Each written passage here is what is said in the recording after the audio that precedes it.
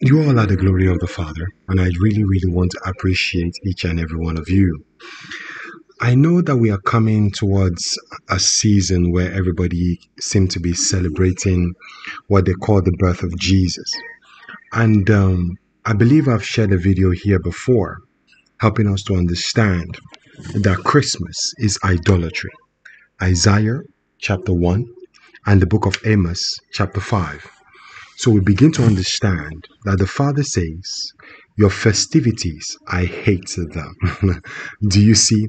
These days that you've marked on the calendar for me, I hate them. So you can begin to understand that I know a lot of people celebrate it. The Bible says there is therefore now no condemnation for those who are in Christ Jesus. But we also have to be very careful because if God says he hates something, why is it that everything God hates is what the world is celebrating? And we as sons, we ought to rise up, not going according to the patterns of the world, but coming out from them. But we tend to have a habit of joining them and then bringing it into Christ and expecting Christ to accept it. But the Bible already tells us about these things. And just because Jesus has come, died, resurrected, does not mean the laws of God has changed. God says, I do not change. Jesus said, I am today, yesterday, and forever. So if God does not change, and Jesus is the same yesterday, today, and forever, then why do we continue to now try to use Jesus to justify the reason for idolatry? Can you see that? Because Jesus wasn't born on December 25. And you have to understand that at the same time that if Jesus wanted us to celebrate his date of birth, it would have been added to the Bible. So, which means his coming, that date is of no significance. But we have to understand the reason why he came, and that is in John chapter 18. It says, I was born and I came. So his birth was not here on earth. He referred to his birth in heaven from the Father, being born of the Father. And the called is basically manifestations on earth as is coming. I was born and I came. Do you see that dimension? Because when the angels were celebrating, you know, they were saying the good, they were celebrating the good news with the shepherd in the wilderness. It, you know, people have now taken that to justify the reason why we should celebrate the birth. No, because the Bible says, For unto us a child is born, and unto us a son is given. So it was born, but it wasn't given to us until he became a son. And that should be the celebration because you are now a son. That's the reason why when he resurrected, you died with him. And when he resurrected, you were born. That's why you're born again. So we don't celebrate the birth where he came as a baby. No, not at all. You should be celebrating your birth in the Father as Jesus celebrated that birth. That is why in the book of Titus, he said we should not concern ourselves with genealogies. And that's what we do celebrating Christmas. Idolatry. And because of this idolatry is the reason why there is the rise of witchcraft and all of those things because we are helping them to actually celebrate idolatry and to manifest their witchcraft upon creation. And it's for that reason I wanted I want to share this counsel.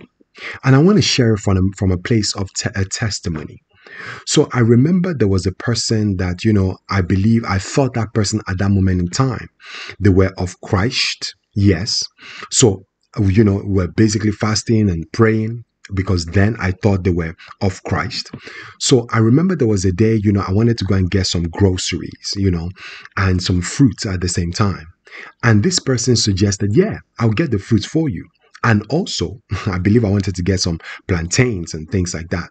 And she said, Yeah, I'll get the plantains too. Do you see that? So she brought the fruits and the plantain. I said, You know, I'll come and collect it from, from you by the roadside. Don't go to your house. I'll come by the roadside to get it off you. You know, trying to basically create boundaries. But eventually she took it home and said, Hey, come and get it at home. So I went and collected it. But to God be the glory, when I got home, the Lord basically instructed all those plantains, cut it into pieces, and throw it in a bin. That's what I did. But with the fruits, because of the ignorance, I didn't realize, you know, I basically ate them. Can you see? But we thank God for the mercy of God. Because the Lord began to reveal behind the scenes that this person was chanting over those foods. Can you see? The chanting on the fruits she was.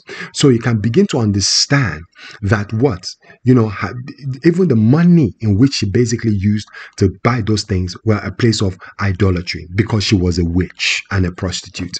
So you can begin to understand that in that dimension, I was receiving something that was not of the Lord. And the other, in which I collected the plantain, the Lord said, throw them completely away.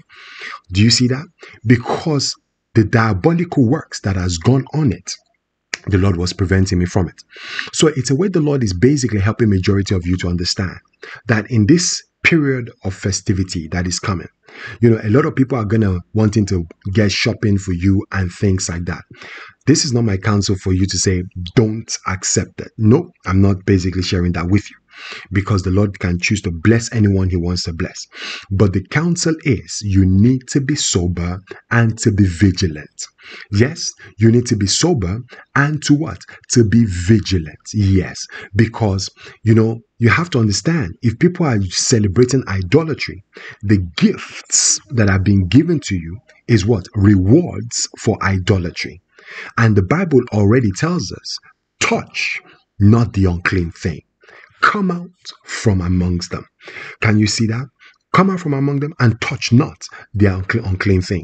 So this is where it's helping majority of us to understand that the gifts that people are going to be given, you know, whether it's food, shopping, or whatever it is, we need to be careful. So in the line of this, it's, it's referring to food. Yeah, we need to be careful of the food that we accept from people. I'm not saying don't. I'm just saying be careful. So in your time of prayer to the Lord, He will tell you, don't accept from this person, accept from that person. Because do you know why? Whatever the person was doing with those fruits, you know, there were you know there were all manners of insects animals and all of those things being used as what? As spies you know around after eating them. Can you see that in itself?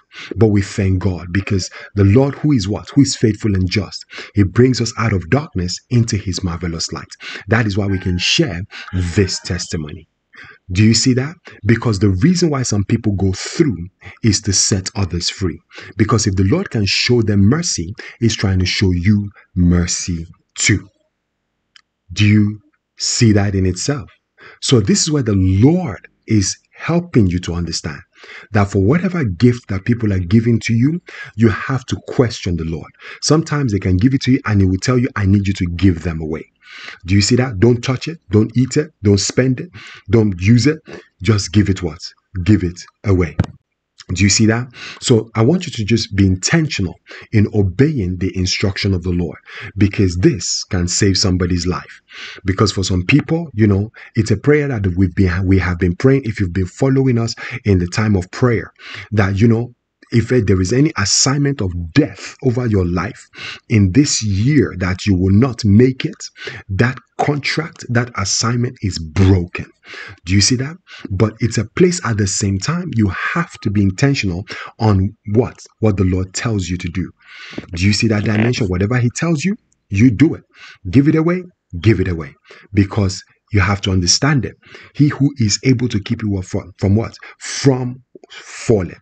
He is able to keep you from what? From stumbling. Do you see that dimension? And I pray that the Lord will continue to be with you, to uphold you, to strengthen, and to empower you. For you to be able to say, No, lead us not into temptation, but deliver us from the wicked one. So you can see that woman, she was a witch, an enchanter, and all of those things. But we thank God because He who is faithful, indeed, He has been faithful. And I just want to surround you all with the wall of fire and the quickening spirit of the Lord in order to what? Walk in wisdom when she calls on to you to help you to navigate away from the what? Adulterous woman, from the enchantress, from the witch, from the idolatries. In Jesus' name, Amen and amen. I bless each and every one of you. To God be the glory. I bless you all. I love you so very much. Amen.